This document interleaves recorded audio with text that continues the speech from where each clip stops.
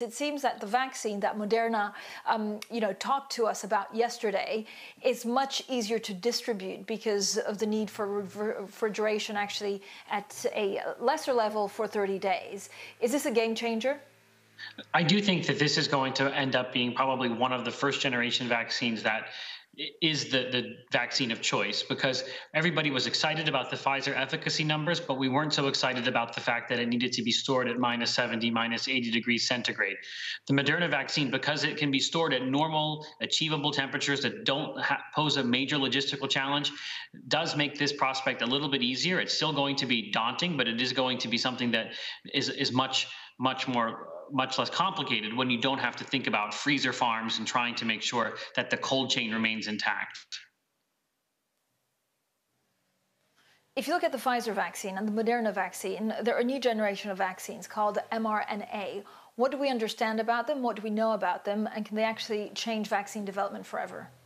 I do think this is the case. mRNA vaccines are going to have, you know, a major impact, I think, on vaccine development in the future. And these are the first two that we're really seeing in advanced clinical stages. But what they offer is the ability to very elegantly be able to make a vaccine quickly and put it into clinical trials because all you need to know is the genetic sequence of whatever you're trying to immunize against. And then you can basically print it off and then inject that gene into people. And then your cells start to make that protein and your immune system uh, reacts to it. So the fact that you can do this so quickly may make a lot of vaccines that have been out of reach or have been too expensive because of the cost of, of research and development much, much more uh, within reach. And it could change the way we think about emerging infectious disease outbreaks, infectious disease disease outbreaks. And there are also applications for cancer and other uh, other types of vaccines. So, so this really, I think, will jumpstart the mRNA vaccine field, and I think will will likely pay a lot of dividends in the future when it comes to public health and other medical conditions.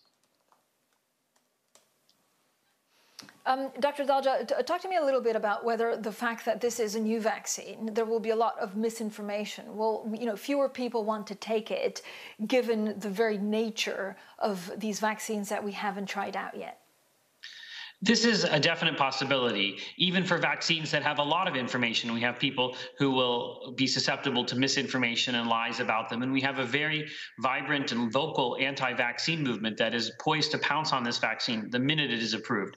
So I do think we're going to have to be very transparent about the risks, the safety profile, the, the, the risk benefit ratio in a way that we really haven't. Because if this vaccine doesn't get into the arms of the world's people, it's not going to be a worthwhile vaccine. So we have to really make sure we get this right. Because during the 2009 H1N1 pandemic, we didn't see very great uptake with that vaccine. And it was something that was done using tried and true flu vaccine technology that wasn't new.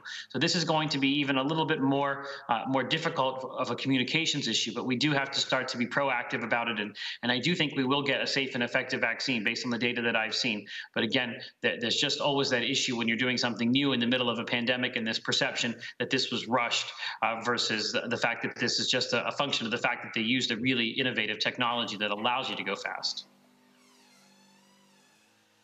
Uh, how are hospitals coping? Which hospitals and states are actually at near capacity? Well, this this sort of changes every day, but the ones that we're worried about now are, are still North and South Dakota, uh, Wisconsin, Iowa, Utah, El Paso, Texas.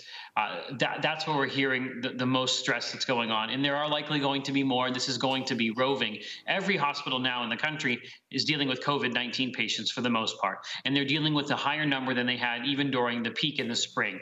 So this is something that is not sustainable if we don't get some level of control, just enough to have some breathing room, because hospitals are not only taking care of COVID 19 patients, they have to do everything else. They have to take care of heart attack patients and trauma patients and stroke patients. And we don't want that care to be compromised compromised. So we have to get some level of control so that the vulnerable populations are not getting hospitalized. And, and that's what we continue to worry about. That's what flattening the curve is, about is about to me. It's trying to keep it below hospital capacity to a manageable level. And I think we're failing because many states do not have the public health infrastructure to intervene on these cases. And you have a population which is really not listening about the fact that we live in a pandemic and you have to take some common sense precautions.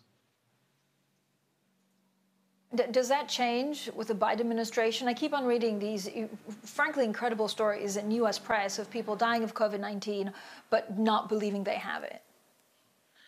I do think it will change with the Biden administration, uh, but you have to remember that the Biden administration isn't going to take office for over 60 more days. So this train will continue to accelerate. It is going to become harder and harder to stop. But I do think that the plan that's been outlined by the Biden transition team about really investing in testing and rapid testing and in at-home testing, as well as looking at hospital capacity, and I and I do think also just the simple fact that you wouldn't be getting misinformation, you wouldn't be getting lies, you wouldn't get undermining of experts like Dr. Fauci. You would have the CDC back in the front in the front seat driving this. All of that's going to make a major difference in how the American public think about this pandemic. It's just that we have to wait two months for that, and and I think there's still a lot of damage that's going to be done between, and people are going to die between now and then.